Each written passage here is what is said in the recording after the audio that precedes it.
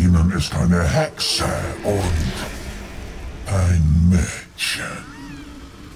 Bringt sie zu mir zusammen mit dem schwarzen Seelenstein. Sie suchen dort nach dem Kopf von Sultun Kull. Durchkämmt die Oase danach. Der Schädel enthält noch uralte Magie. Und ich muss ihn haben.